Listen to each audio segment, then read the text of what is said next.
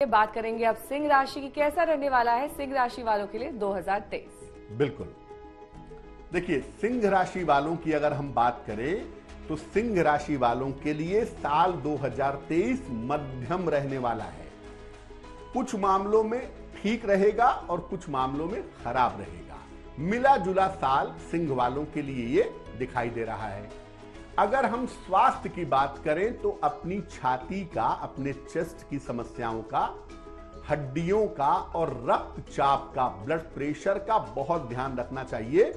इस साल में इन इलाकों में आपको सेहत की दिक्कतें हो सकती हैं।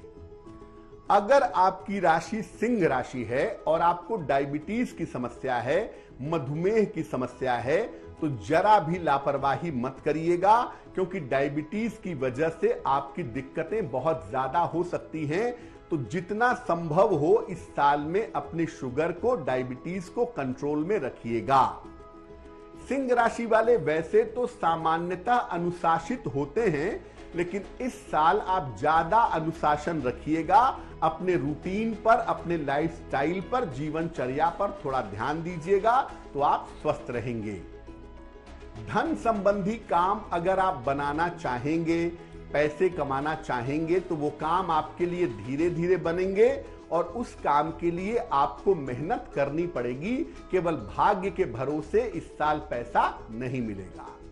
ये बात ज़रूर है कि इस साल की शुरुआत में अगर आप कोशिश करें तो आपको नई संपत्ति का लाभ हो सकता है। नई प्रॉपर्टी आप इस साल की शुरुआत में ही खरीद सकते हैं। अगर योजना बना रहे हैं तो शुरुआत में ही इस पर काम करिए। साल के अंत में विवाह के लिए प्रयास कर सकते हैं। अगर आप अविवाहित हैं तो ये वर्ष आपके विवाह के लिए बहुत अच्छा साबित होगा। खास तौर से अगर आप अप्रैल से लेकर दिसंबर तक और खास तौर से अक्टूबर, नवंबर, दिसंबर वाले समय में आप विवाह के लिए प्रयास करें तो विवाह ज़रूर हो सकता है। तो देखिए, इस साल चीज़ें मिलेंगी धीरे धीरे मिलेंगी और हर चीज़ के लिए आपको मेहनत करनी पड़ेगी। इस साल जितनी मेहनत करेंगे, उतना ही फल आपको प्राप्त होगा। इस साल भाग्य का चक्र बहुत मजबूती से आपके साथ नहीं रहने वाला है। क्या उपाय करेंगे ताकि साल भाग्यशाली हो, लाभ हो सके? भगवान सूर्य को नित्य प्रातः जल अर्पित करिएगा। सादा जल प्लेन वाटर डेली मॉर्निंग सूर्य भगवान को पूरे साल चढ़ाइएगा। गायत्री मंत्र अगर आप जपें तो आपका मन मज़बूत होगा, आप स्वस्थ रहेंगे और मेहनत थोड़ी सी कम करके फ़ायदा बढ़ सकेगा। रोज सुबह 108 बार गायत्री मंत्र जपिएगा, एक तांबे का छेद वाला सिक्का लीजिएगा और इसको लाल धागे में डाल करके मंगलवार को अपने गले में पहनिएगा। ये आपकी स्वास्थ्य की समस्याओं से सुरक्षा करेगा। लेकिन साथ ही साथ इस बात का भी ध्यान रखिएगा कि आपका रूटीन, आपकी जीवनचर्या भी बेहतर बनी रहे। तो ये तो बात हुई सिंह राशि, यानी कि लियो। अब बात कर लेते हैं कन्या राशि, यानी कि वर्गो वालों के लिए कैसा रहने वाला है साल 2023 बिल्कुल। कन्या वाले 2022 में थोड़े बहुत मुश्किलों में थे साल के मध्य में। ये साल उतनी मुश्किल तो नहीं दिखा रहा है, लेकिन ये साल भी कह रहा है कि भाई चीज़ें मिली जुली रहेंगी। चीज़ें मिली जुली आपके जीवन में दिखाई देंगी, कैसे होंगी। स्वास्थ्य का मामला अच्छा है आपके। स्वास्थ्य के मामले में इस साल आपके सुधार होगा और पहले की तुलना में आप बेहतर महसूस करेंगे। स्वास्थ्य की समस्याएँ आपकी कम होंगी। किसी पुरानी बीमारी से छुटकारा मिल सकता है। कोई पुरानी बीमारी चली आ रही थी, वो पुरानी बीमारी आपकी शांत हो सकती है।